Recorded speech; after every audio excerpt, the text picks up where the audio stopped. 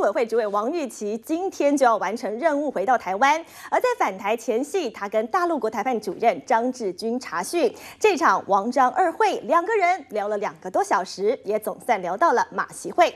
张志军也认为有一步就有第二步、第三步，对马习会的态度更为开放。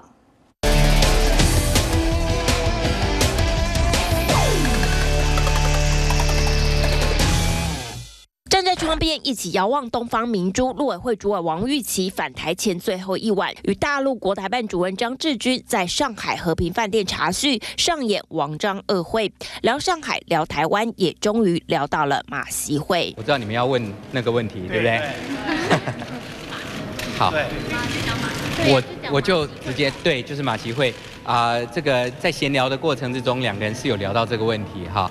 那双方就各自表达既有的立场。这一谈谈了将近两个半小时，马习会也变成可以想象的事。但身份和场合，两岸态度分歧，王章二会并没有更深入探讨解套方式。就是在闲聊的过程中，闲聊的过程中提出来，已经已经没有印象。会是一个比较好的呃，我们已经各自表达原来已经表达过的立场，好不好？不断强调双方都表达既有立场，而王玉琪出发前就说 APEC 是马习会最好场合。但反观大陆，从这项议题发酵以来，国台办就明确表态，认为两岸领导人会面不需借助国际场合。不过王章会后，大陆方面正式回应敏感的马习会，给了一个模糊的答案。张王会到喜马会，您觉得中间还需要经过就是什么样的挑战，或者是？